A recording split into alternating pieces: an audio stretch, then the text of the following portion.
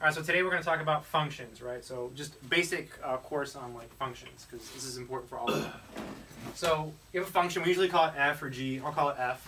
So f from a to b. Okay, so this is the notation that people use for functions always, right? Like in all math, like in higher level math. A here has a name. A is called uh, the domain. So A is called the domain. And anyone actually know what B is called? Codomain. Codomain! Yes, codomain! Codomain! Codomain. So A is called the domain and B is uh, called the codomain. codomain, right? So, uh, so for example, say we had a function f uh, from the set of real numbers, that's R, to, um, let's say, uh, the set of real numbers, and we define it by f of x um, equals x squared. So this function takes x, and then it squares it, right? This is pretty cool. It's pretty cool stuff. So let's, let's think about the graph of this function. Um, so if you graph this, what is the graph of x squared? Do you all know? Parabola. It's a parabola, right? So it looks like a U. So it looks uh, something like this, right? So it's a parabola. So clearly the domain is all the x's, it's all the inputs, right? So you see it's the entire uh, real line, right? Again, this is stuff is super useful. You can know all the math in the world, but if you don't know this, it's like, ugh, you need this for all high level math. So that's your domain. You'll notice something though. Um, there's a word that people often use in math. It's called the range. The range is all the y values, and you go from the bottom up. What's the smallest y value here? Zero. Zero. So it'd be zero to infinity, right? So that would be the range in this case. You'll notice the range is different from the codomain, right? So it's different. I used to have this teacher. He was really, really good. He, uh, he actually went to like, Harvard and Brown and stuff. He was like, "We don't use range in my classroom." The guy was like a legend, but why? Because range doesn't typically. Um, I don't know. Range can mean a lot of things in mathematics, right? So codomain would be all of this, right? So the range is a subset of the codomain. Whenever actually, whenever the uh, the range is equal to the codomain, we say the function is onto or surjective. But we'll, we'll talk about that later. All right, so that's uh, domain, codomain. So domain, codomain. In this case, uh, they're both the same. Here's another. Here's another example. Uh, say we have f from. Let's do some fancy notation, uh, or not. How about just keeping it simple? Uh, zero to infinity to the set of real numbers, and this is a famous function. f of x equals the natural log of x. Right, the natural log of x. So in this case, this is the domain, and this is the codomain. Right. In this case, Can we also as, write that as positive reals? that's exactly what it's gonna do, Kyle. Yes, yes. I was gonna write it um, like this, right? That's the set of positive. That's what I wanted to do. When I said fancy notation, I was like, oh, let me do that. But for some reason, I became weak and didn't do it. Um, so that's the graph of ln. Oh, look, the range this time is all real numbers, right? So the range is equal to the codomain, right? So this is an onto function. Okay, so now that we have that out of the way, we have some terminology out of the way. So we have domain and, and codomain. All right, let's talk about injective functions. So injective functions are super key. Oh, wow, erase. So we say uh, a function f from a to b is injective. So injective. Um, also, it's also called one to one. So you can do. You can do this. So one to one. If whenever the outputs are the same, the inputs are also the same. Okay, so equal outputs give rise to equal inputs. So if you have f of a equal to f of b, um, this implies um, that a is equal to b. So equal outputs give rise to to equal inputs, right? So um, and uh, so what does that mean uh, intuitively? So if this, if I can try to explain it, if this is a uh, and um, this is b, right? So what would be an example of um, an injective function? So Just area going from one point to the point. yeah, So so like point maps. so like this point here would go here, this point here goes here, and this point here goes here. That would be that's injective. That's one to one, right? So everything gets hit at most one time. So this number goes here, this number goes here, this number goes here. You can't have this. This is an example of something that's not one to one. So here we go. One, two, three. One, two, three, four. So this one goes here, this one goes here, and this one goes here.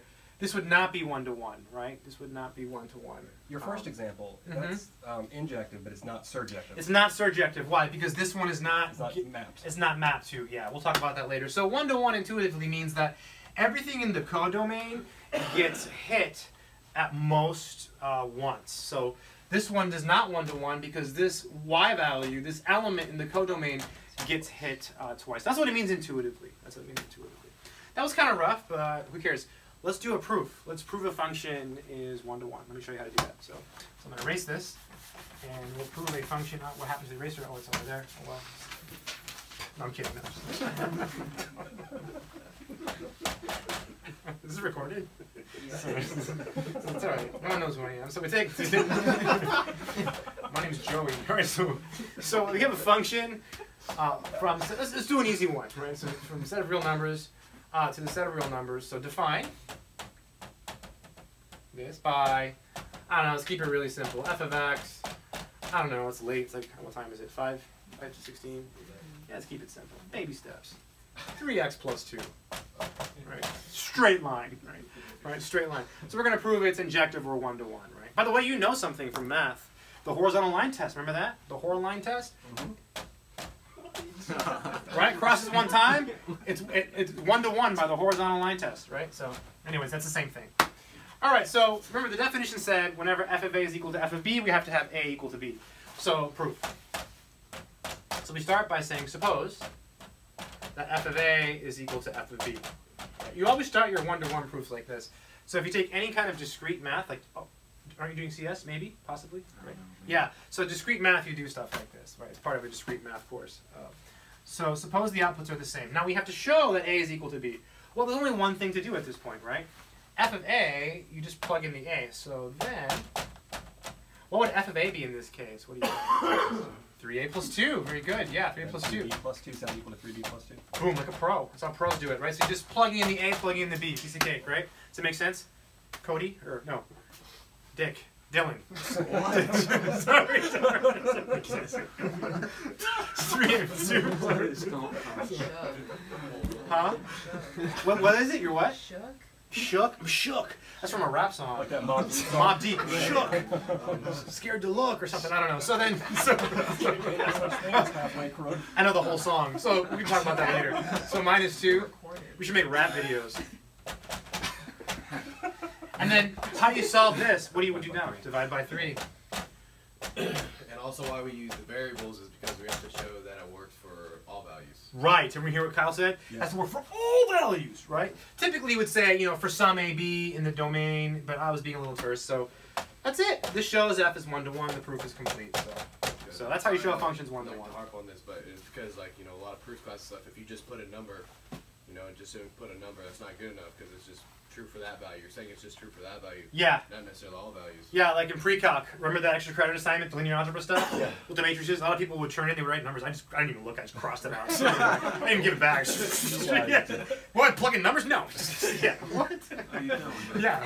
Yeah, because you have to use, yeah, yeah, I don't even. That's the most common thing. Prove it Like, it's like, yeah. People are like, oh, three by 3 matrix, what's the matrix? Well, we make one up. she can't do that, right? All right, so that's one to one. So basically, you do this, and then you show that's true, and that's how you show it's one to one. Does it make sense? Yeah. All right, let's do onto now. So let's do onto really quickly. Ooh, maybe I'll show you something cool at the end. Ooh, I have an idea. Oh, maybe, maybe. Okay, so define onto really quick. So f a to b is onto or surjective if so for all little b in capital B, that means for all in math. So I don't know if you've ever seen that, Dylan. For all little b in capital B. Uh, what's this backwards e meaning? There exists, there exists a little a in capital A, such that f of little a goes to little b. This is beautiful. And again, oh, it says onto. I cannot emphasize how important this is for math. I mean, most people who learn this stuff, like most people who like go on YouTube and search for this stuff, they're probably like in a discrete math class. But in higher level math, like when you study countability, like showing two sets have the same number of elements, that's called cardinality. It's the same thing, right? Uh, anytime you're showing anything is the same, an isomorphism, stuff like that, you have to know this stuff. So basically, what does this mean intuitively? So here's A, and then here's B. So it means for any little b here that you pick, you can pick any of these. You can you can find what's that? No one gets left behind. No one gets left behind. That's right. yes, yes, yes. So you can find a little a that goes all the way, all the way to B, right? So everything gets hit at least once. All right, everything gets hit at least once, right? So so uh, uh, injective meant meant everything gets hit at least uh, at most once, right? So just so injective was at uh, most once. So nothing can get hit twice. Remember that with the injective, we had the two, the two, the two things, and we're saying surjective. Surjective, we're saying uh, it's at least once. So if everything gets hit at least once and at most once, so both happen. Can anyone put that into words? Bijection. Yeah, and so so if it's at least once and at most once, what's another way? What's another way to say that? Everything gets hit. What, what am I looking for? Anyone know? Egg, egg, eggs.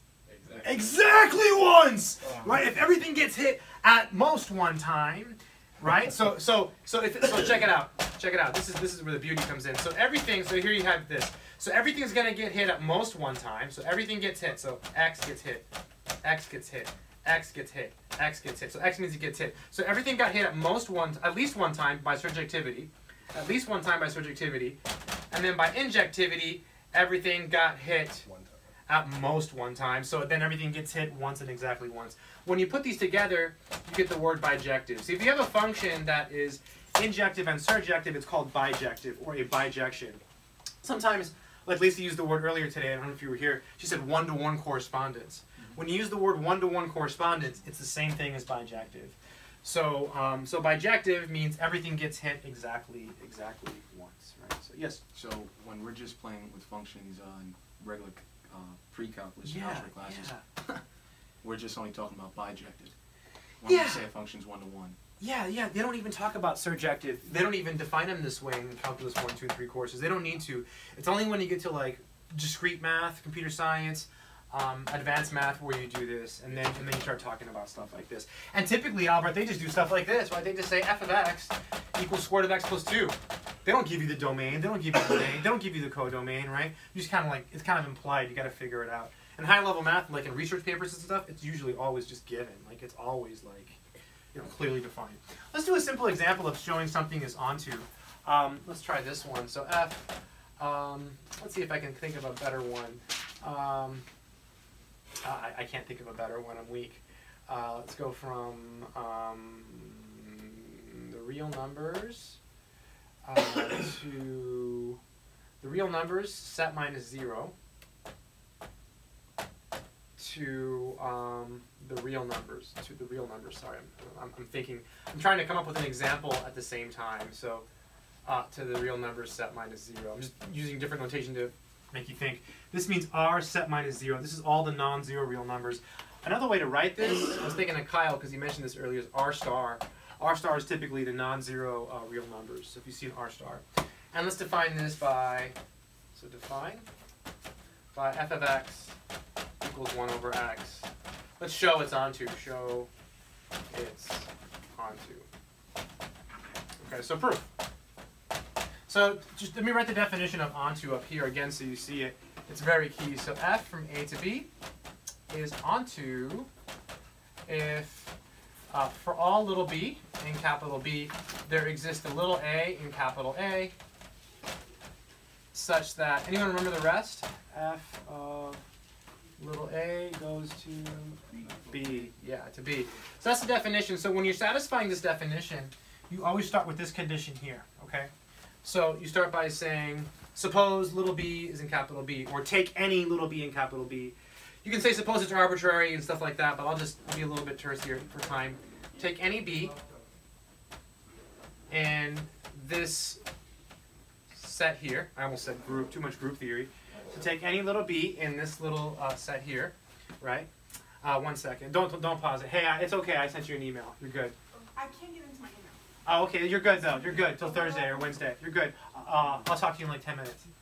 Okay. But you're good. You're, you're, Can you text me? I don't. I don't have a phone. Well, I don't, have a phone. Oh, you can't get into your email? Hang out for ten minutes. You got ten minutes? Alright. Yeah, hang on. You stay here. Stay here. Stay. Stay. Hang on. Uh, Kelly, it's good to see you. Take any little b here, uh, and then so we have that. So we need. What do we need? We need a such that we need this, right? That's what we need, right? You had it up? Yeah. So what's f of a in this case? 1 over a. So we need this, right? So we're working backwards. This is really key. Can you see, Kyle? Can you see? Yeah. Yeah. So so we need A such that this is true. So we need an A such that f of A is equal to B. So we're working backwards. This is how you figure the problem out. This is the most important part. So f of A is 1 over A. So we have to solve this for A. How do we solve this for A? What do we do? What do we multiply by? By A. So you put an A here. You put an A here. So you get 1 equals BA. And what's the next thing you do to solve for A? Divide by B. And, and so we end up with, with, with A equals 1 over b, right? Okay. So now that's going to be that's going to be our a. So then we take b in here. So then since Okay, so this is going to be the a we want, right? So we need to show it exists, okay? Um, so in order to show that it exists, uh, you have to explain why it makes sense. So note, uh, 1 over b makes sense because b is not zero. So set A equal to 1 over B, which is in our domain. It's a little confusing because this is the codomain, this is the domain, codomain, domain, codomain, domain, codomain, domain, right? Then we have to show that f of A is equal to B, so let's do it. So f of uh, A, well, that's uh, 1 over A, plugging it in here. And A is 1 over B, so this is 1 over 1 over B, which is 1 times B over 1, which is B. So look at that. We took any little b, right? This is our big B. We took any little b in big B. We showed there exists an A in big A. This is our big A, such that f of A is equal to little b. That shows the function is a surjection. Would Yeah. it be valid to say that also since b is a positive integer, no, we have to specify that it can't be equal to zero? Uh, it's not, no, they're real numbers here, so it doesn't have to be an integer in this case, right? Oh, right. Right, right. Just has to this this this has to make sense. Also, you know what? I probably should have said this is not zero. Right? Said it makes sense and it's not zero. So Right, right. I probably should have said that, right? Like if you're taking a class and someone was grading this, they might look at it and be like, "Oh, game over," and like no, you know, they would take uh, points off. So that's all I wanted to talk about today. So just injective functions, surjective functions. So if it's injective and it's surjective, do you remember what it's called? Bijective. Bijective. So that's it. That's it.